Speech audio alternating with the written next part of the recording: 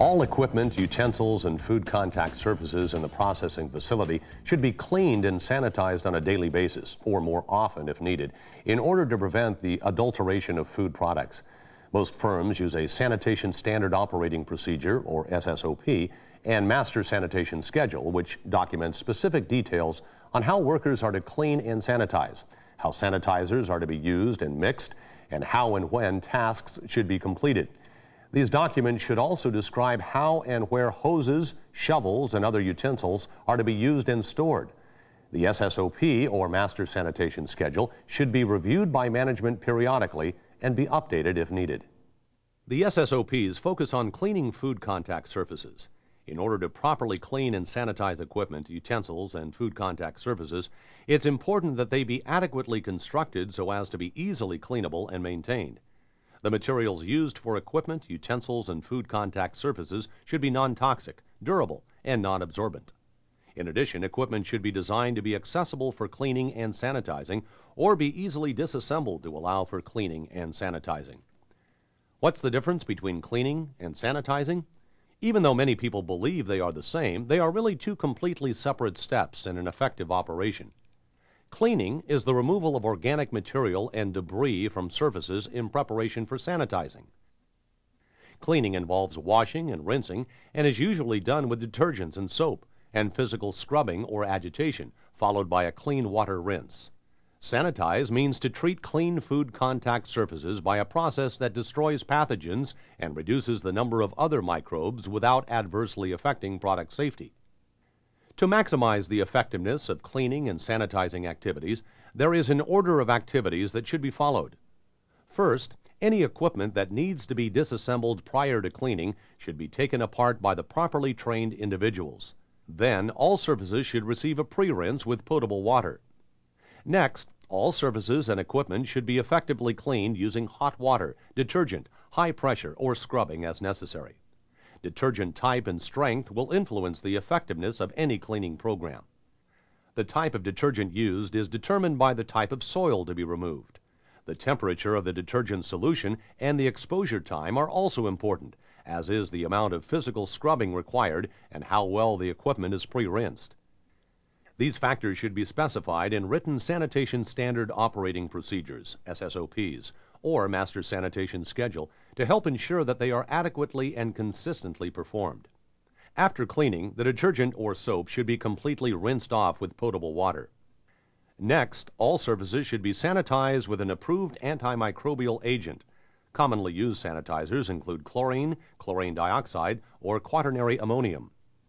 It's important that the level of sanitizer used be adequate to kill the targeted microbe, which could be Salmonella, Listeria monocytogenes, or E. coli 0157H7, or any other pathogen. When using chlorine, a level of 100 to a maximum of 200 parts per million total chlorine is typically used. Personnel should follow label instructions when mixing and applying the sanitizers used. All sanitizer levels should also be checked and recorded. Consider rotating sanitizers in order to prevent the development of pathogen resistance to that sanitizer. There are also several factors to consider when choosing a sanitizer, such as the type of equipment or surface to be sanitized, the temperature and contact time required by the sanitizing solution, and the pH and the hardness of the water. Of these factors, the pH of the water is the most important. Consult with chemical suppliers for guidance in the choice and use of detergents and sanitizers. Also, it's important to read and follow all labels of all sanitizers and detergents.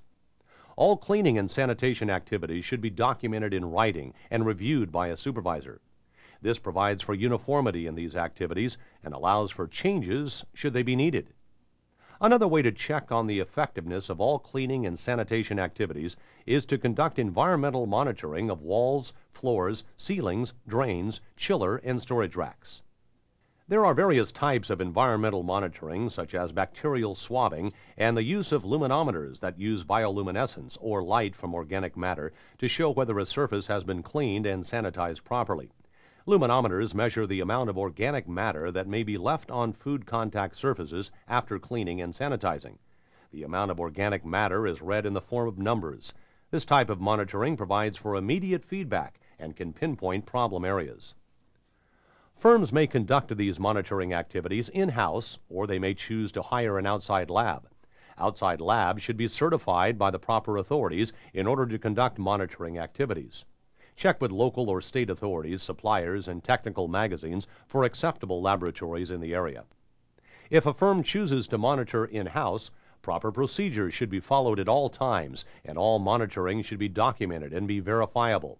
It's always recommended that whatever methods are used, accurate results should be provided in as short a time as possible.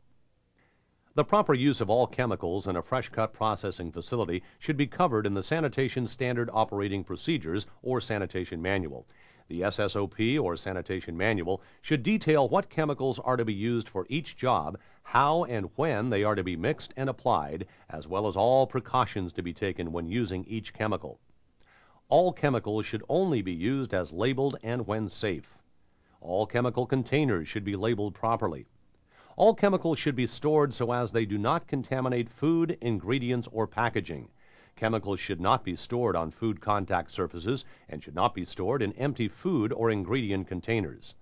The label instructions for all chemicals should be followed with no hesitation to contact the supplier if there are questions. What is the importance of acceptable equipment construction and proper cleaning and sanitizing activities? Acceptable equipment construction and proper cleaning and sanitizing activities play a key role in the control of biofilm. Have you heard your dentist talk about removing plaque from your teeth? Have you ever walked across a stream and slipped on slimy rocks? These are both common examples of biofilms. What is biofilm? Biofilm can be defined as a thin layer of bacterial cells that adhere to equipment and other surfaces and are more resistant to common sanitizers. Various pathogens such as Listeria, Salmonella, and E. coli 0157H7 have been shown to form biofilms that can contaminate food products during production. Biofilms can be found on the surfaces of product lines, cutting boards, fillers, spinner baskets, stainless steel and plastic conveyor systems, and any surface in constant contact with a product. Bacteria in biofilms are hard to find using normal monitoring techniques. The control of biofilms is also very difficult. The bacteria in biofilm acquire extreme resistance to sanitizers, disinfectants, and heat treatment. Because biofilms can build up over time, timely and proper cleaning and sanitizing is needed to ensure that bacteria are killed in the early stages of biofilm formation. Sanitation workers should vigorously follow all cleaning steps pre-rinse, clean, post-rinse, and sanitize every time they clean. The cleaning crew should also strictly follow the directions for the concentration, temperatures, and contact times for all cleaners and sanitizers, and those cleaners and sanitizers should reach all food contact surfaces. Supervisors or a properly trained employee should conduct visual sanitation inspections after all equipment and surfaces have been cleaned. Microbiological testing of equipment and surfaces should also be considered.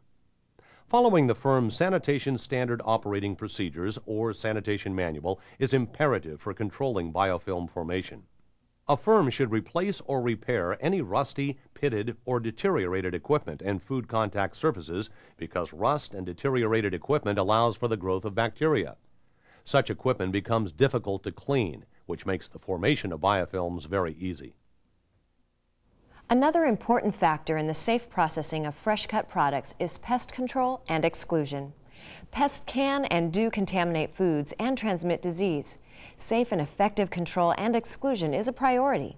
Proper pest control and exclusion can be separated into two categories, physical controls and chemical controls. Exclusion is the practice of preventing the entrance of any vermin or pests into a facility.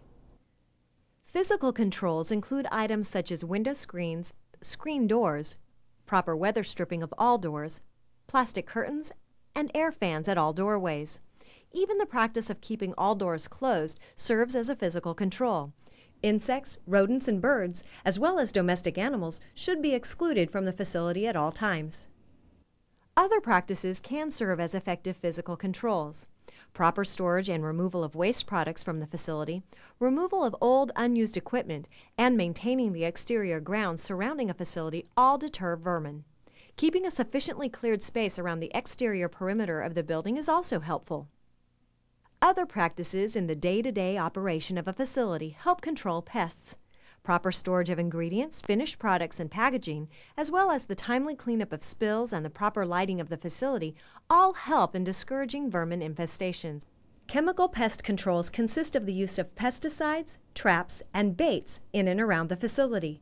It is suggested that fresh cut processors employ a licensed pest control operator or contract with an outside firm to conduct these activities.